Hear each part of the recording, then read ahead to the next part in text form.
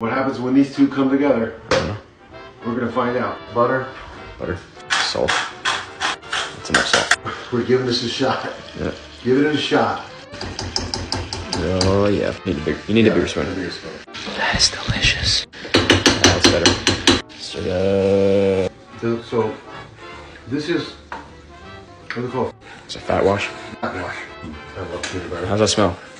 smells like peanut butter. So it's the first time I'm doing it. Lower the heat. Next up, whiskey. Oh yeah. Stir it. Next up, All right, now I put that on the simmer and let it bubble a little bit.